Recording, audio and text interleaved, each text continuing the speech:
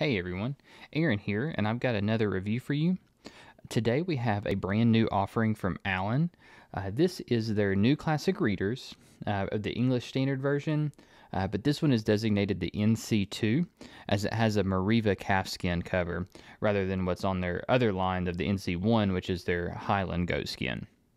These do come in a really nice two piece box. Uh, you can see here the Allan ESV NC2 Black uh, this one is the silver line, uh, so you have silver page edges uh, with blue underneath. And this is just the, the two-piece box that they come in. So I do have one of their goatskin silver line editions that they did. It's a first edition that was printed uh, by Jongbloed and bound by Charfleet. I'll add some photos at the end of this video, um, and I'll also add some just comparison uh, in the at the end of this video as well, just so you can kind of see the the differences in the grain of the covers and just some of the other features that are a little bit different in this printing uh, versus the the first edition uh, Silverline goatskin uh, from the NC1 series. Uh, so just some of the features on this one. Again, this is the black Meriva goatskin.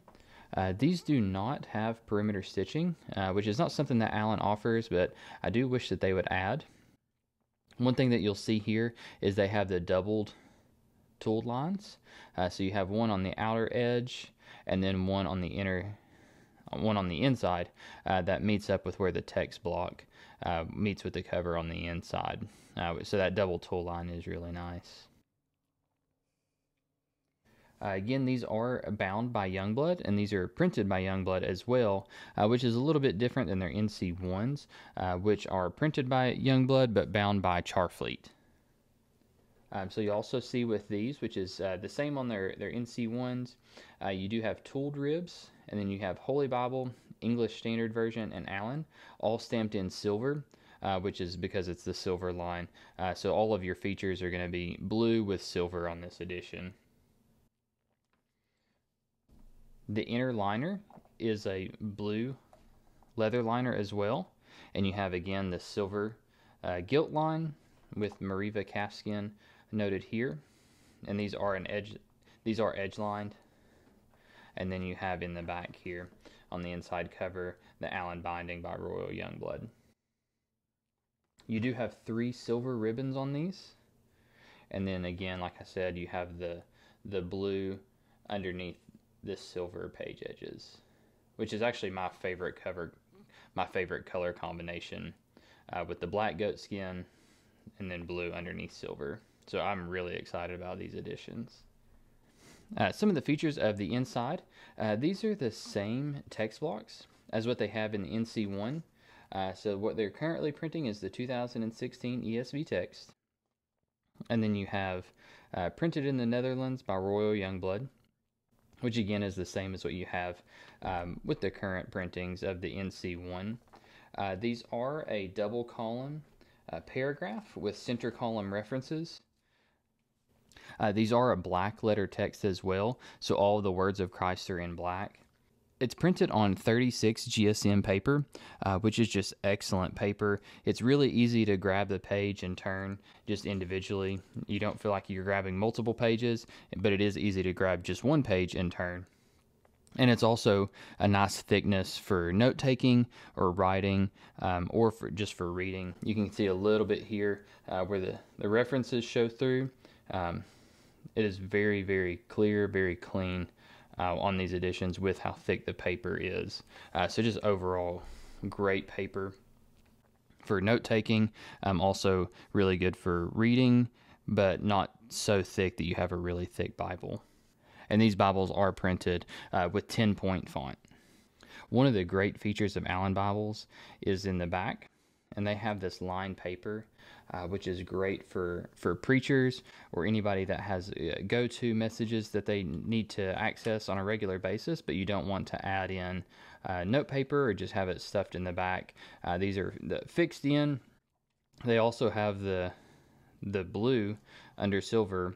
Uh, so they just it looks like it's just part of the Bible, and you can add your notes, add your sermons in for for weddings, uh, funerals, anything that you need to have on a on a regular basis that you need to access quickly, you can just have those notes right there in the back of your Bible, and you just always have those as a go to.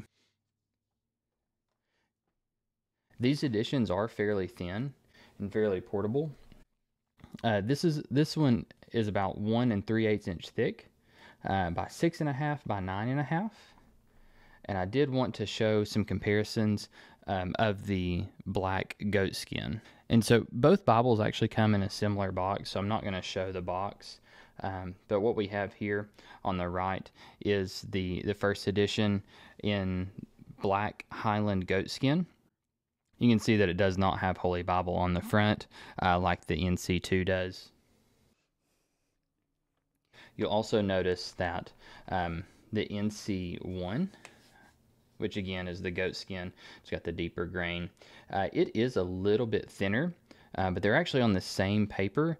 Uh, but the NC1 has fewer maps, and the cardstock is a little bit thinner, and the uh, note note paper at the back of the Bible is uh, is thinner paper as well on the NC1. So that's what gives the NC1 this edition a little bit of a thinner profile.